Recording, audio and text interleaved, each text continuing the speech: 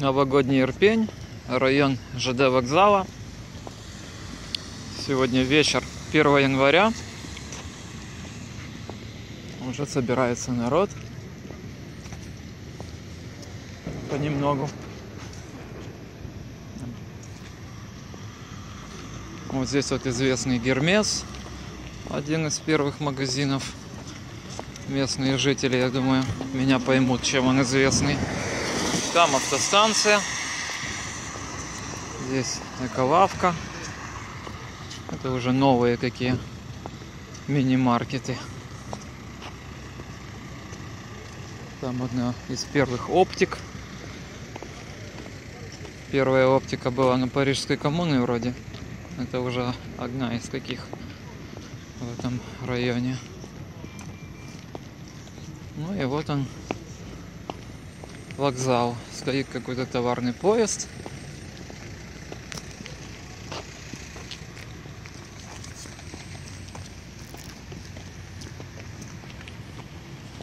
Здание не меняется с годами. Здесь когда-то был туалет. Воняло на всю округу.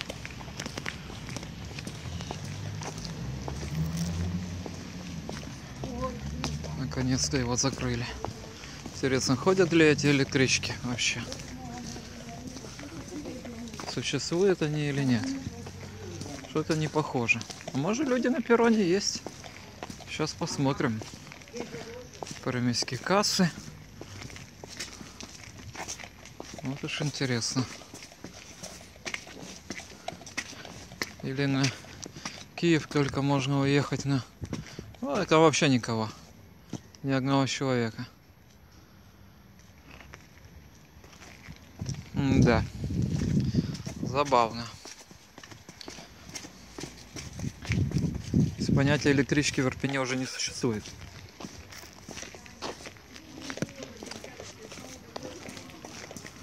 Здесь кофейные киоски, шаурма.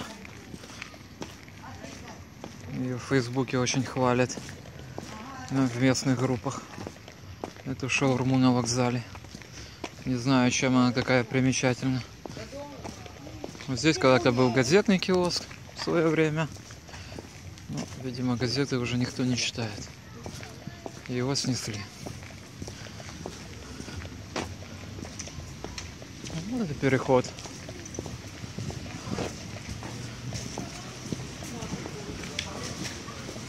В дождливую пору, когда обильные дожди, вот этот переход всегда затапливает.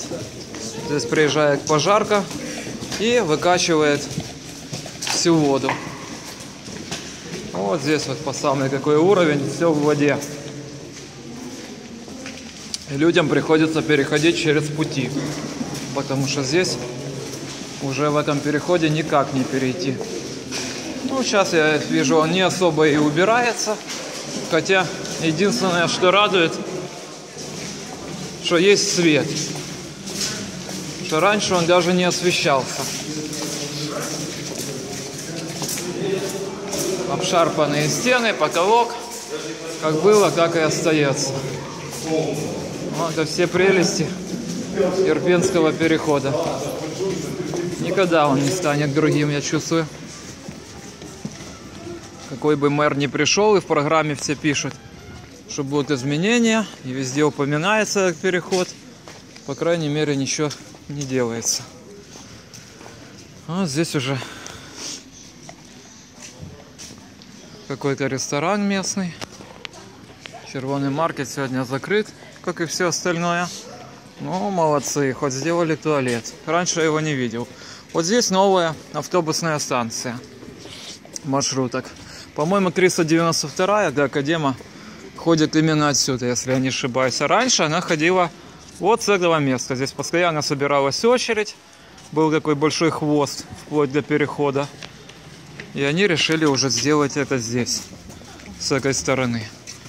Да, работает э, туалет. 5 гривен с 8 до 21. Ну и здесь вот такие вот магазинчики. Говорили, когда их сделали, ходили слухи, что они здесь все не отвечают пожарной безопасности. То есть, если что-то загорится, то здесь будет всем хана. Не знаю, насколько это оправдано, но, по крайней мере, такой слух был. Как оно на самом деле, местные должны знать. Ну вот сегодня работает только чил. Что там за чил? Это кофейня вроде. Все остальное закрыто. Какая-то оптика в конце. Я помню, что там был ритуальный магазин. Памятники, венки, там всякое такое. Что там сейчас, не знаю. Ну вот он, район вокзала. Дальше пошла улица, которая называется нынче Героев Афганистана. А мне более импонирует название «Вторая линия». Милозвучно и простенько.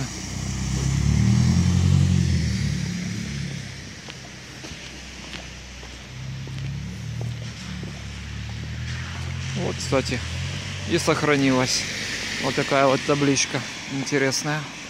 Вторая линия. Раньше здесь был маленький забор и куча собак и хлама за ним. Сейчас хотя бы это все дело прикрыли. А домик тот же самый остался.